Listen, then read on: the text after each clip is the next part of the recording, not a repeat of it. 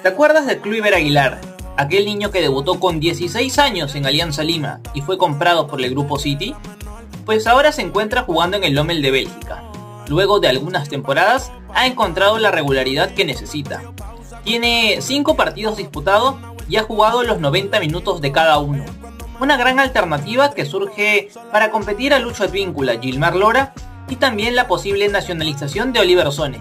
Veremos si Juan Reynoso lo tiene en la próxima lista.